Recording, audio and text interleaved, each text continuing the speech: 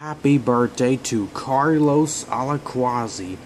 He have played just one character from the Star Wars franchise, including Rescue Number 1 from Star Wars Starfighter, the video game from 2001. So the comments, this is Darth Vader fans signing off. And may the force be with him as well.